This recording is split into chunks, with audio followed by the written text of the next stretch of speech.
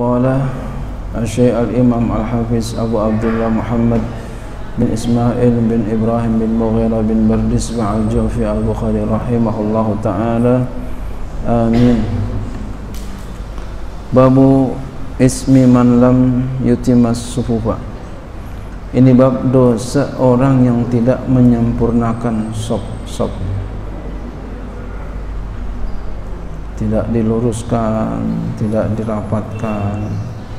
Kalau memang dalam kondisi yang normal. Wabillahi qala haddatsana Mu'adz bin Asad qala akhbarana Al-Fadl bin Musa. Qala akhbarana Sa'id bin Ubaidin At-Ta'i an Bushair bin Yasar al-Ansari an Anas bin Malik Riwayat daripada Anas bin Malik annahu qadimal Madinata. Bahwasanya Anas bin Malik radhiyallahu anhu beliau pernah, pernah datang ke kota Madinah. Faqila lahu. Lalu beliau ditanya dikatakan kepadanya beliau ditanya ma ankarta minna munzu yaumi ahitta Rasulullah sallallahu alaihi wasallam Anas bin Malik ya sahabat Anas bin Malik radhiyallahu anhu beliau datang ke kota Madinah lalu beliau ditanya kepadanya Beliau ditanya, "Ma'an karta minna?" Apakah ada sesuatu yang kau ingkarkan kami? Munzu yaumi ahitta sejak hari engkau hidup bersama Rasulullah sallallahu alaihi wasallam. Karena Anas bin Malik ini sejak kecil beliau hidup bersama Rasulullah sallallahu alaihi wasallam sampai 10 tahun tinggal sama Rasul sampai Rasul meninggal dunia. Di waktu itu Rasul hijrah ke kota Madinah Al-Munawwarah. Mamahnya, ibundanya Anas bin Malik seorang yang sangat cinta kepada Rasulullah Rasulullah sallallahu alaihi wasallam. Orang-orang datang kepada Rasulullah dengan membawa sesuatu karena punya sesuatu. Ibundanya Anas bin Malik enggak punya sesuatu untuk diberikan kepada Rasul yang dia punya anak. Akhirnya anaknya dipersembahkan kepada Rasul untuk bantu-bantu Rasul. Masya Allah. Padahal anaknya masih kecil.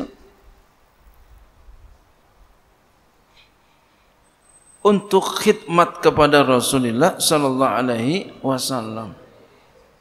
Karena cintanya kepada Rasul dibalas oleh Allah Subhanahu wa taala dijadikan Anas bin Malik sebagai sahabat yang terkemuka, seorang yang banyak meriwayatkan hadis, rijalul hadis.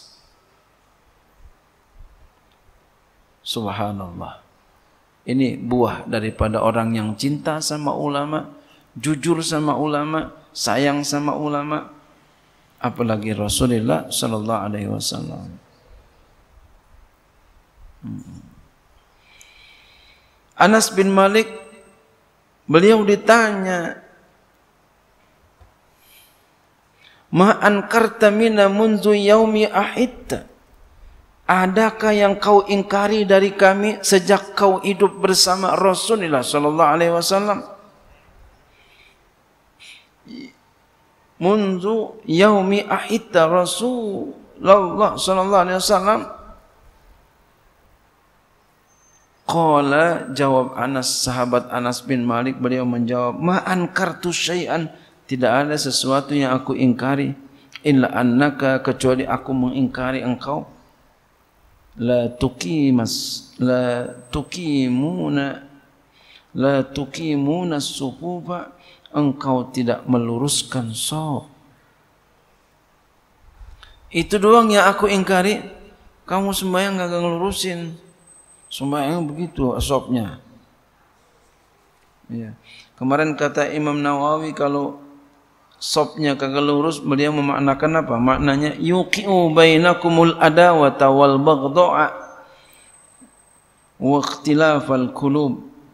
Maknanya tu kalau sopnya enggak lurus kata Imam Nawawi ya Allah akan jatuhkan di antara kamu permusuhan, kebencian, hatinya berbeda-beda. Artinya enggak ada kenyamanan sesama manusia. Hmm. Nah, mudah-mudahan kita bisa meluruskan so ya. Dan Allah jadikan kita ya manusia-manusia yang cinta dengan perdamaian. Amin. Keamanan, ketenangan dan bahagia dunia akhirat. Amin. Wallahu a'lam bishawab.